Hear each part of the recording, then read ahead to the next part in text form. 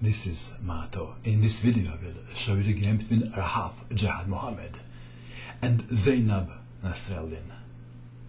This is the game from Chess Olympiad women's section that was played in Tromsø in 2014. Rahaf Jehad Mohamed, player with white pieces, is from Palestine and Zeinab Nasreldin is representing Sudan. Rahaf started with c4 English opening.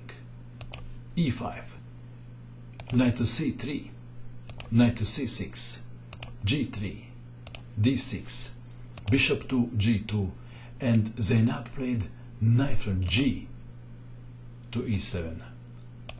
Knight to f6 is the most played move in this position. We have knight from g to e7, knight to f3, d5, c takes on d5, knight takes on d5, Rahaf, castle kingside, knight takes knight, and of course white capture towards the center. Black to move. What is better, bishop to d6 or bishop to c5? We have bishop to c5. Bishop to d6 is more precise. Bishop to c5 why to move? What would you do? Rahaf played d3. There was another way to go and that is knight takes on e5. After knight takes knight, d4. After bishop to b6, d takes on e5. White is a pawn up. The white's pawn structure is not that brilliant, is it? But pawn is a pawn.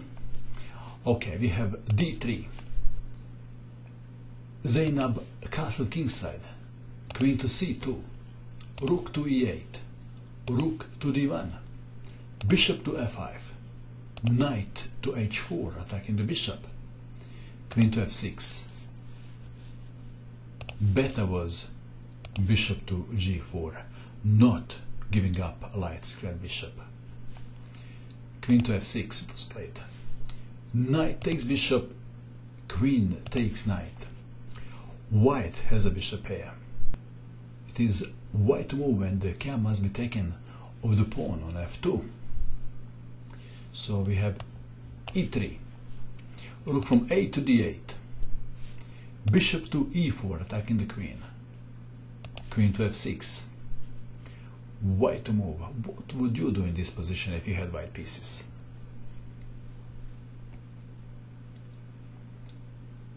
Well, perhaps rook to b1 comes to mind.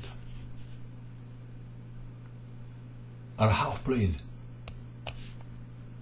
d4. This is the move that brings advantage to white, for sure. E takes on d4. C takes on d4, attacking the bishop. Black is in trouble if bishop to b6, which looks like a logical move. Then bishop takes on h7, and after king to h8, bishop to f5. White is a pawn up. And note that white has two pawns in the center against zero pawns. So, Zeinab played for a trick she played queen to e7. What is the trick? The trick is if pawn takes bishop, let's have a look. If pawn takes bishop, then black would be winning. Queen takes on e4. Rook takes rook.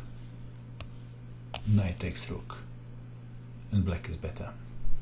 Or if in this position queen takes queen, then in between move, rook takes on d1 check, and after king to g2, rook takes queen on e4. So, what is the best move for white in this position? White can also capture the pawn on h7 and then play bishop to f5. Small advantage for white. But there is even better move than that. And the move is bishop takes knight, winning a piece. Pawn takes bishop. Pawn takes bishop on c5, and there is no target on e4. Rook takes rook check. Queen takes rook. Queen takes on c5. Rook to b1. Queen to d5. Queen takes queen. When ahead in material exchange pieces. c takes on d5. Rook to b7. c6. Rook takes pawn on a7. Rook to b8. Rook to c7. Rook to a8. Rook takes on c6. Black to move. Black played a move and resigned. what is the move? This is the move. Black resigned. Why? Rook to c8 checkmate. And let's go back to those critical positions of the game at move 12 and move 16. Better was bishop to g4 or even bishop to e6 saving the bishop. Saving the bishop here. And then again at move 16 in this position. Did you find d4